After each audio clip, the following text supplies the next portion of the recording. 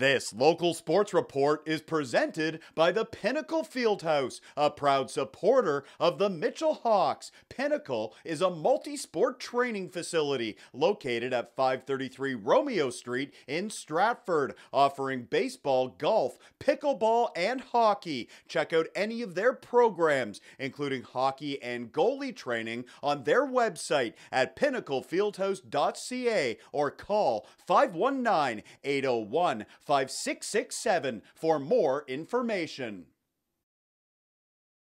Let's head to Mitchell for the Hawks and the Hawks. It's the Mitchell Hawks and the Walkerton Hawks battling on Wednesday night in Pollock Division action, and it doesn't take very long for Mitchell to strike. 42 seconds in, Evan Dowd is behind the net, and he sets up Nolan Gagne. That's his first marker of the season. Mitchell is up 1 0, and they keep coming. A buck 58 later, Carter Musselman is at the near point. He fires and goes top shelf. Three minutes in, Mitchell is up by a pair. It's 2 0. Then watch the far side of the ice. It's Zach Dow from Mitchell leveling Zach Turner.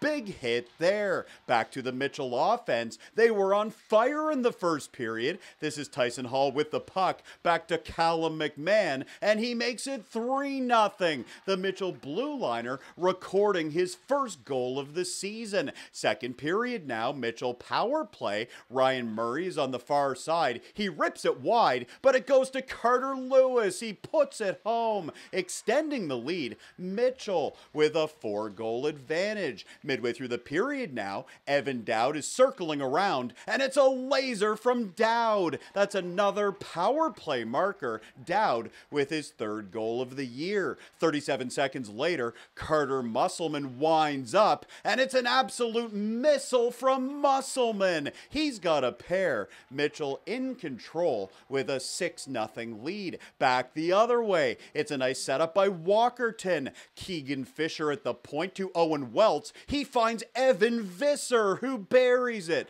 Visser getting the visitors on the board, but this night belonging to Mitchell. Seth Hugen grabs it. He spins and scores on this play. That goal making it 7 1 for the home side. And early in the third, here is Mark Cassidy with a breakaway. He comes in and puts it in. Cassidy rounds out the scoring. It was a big night offensively for Mitchell. They win for the first time this season, beating Walkerton by a final score of 8 1 on Wednesday night. Mitchell's next home game is Sunday, October 10th, hosting Wingham. Puck drop is at 3:30.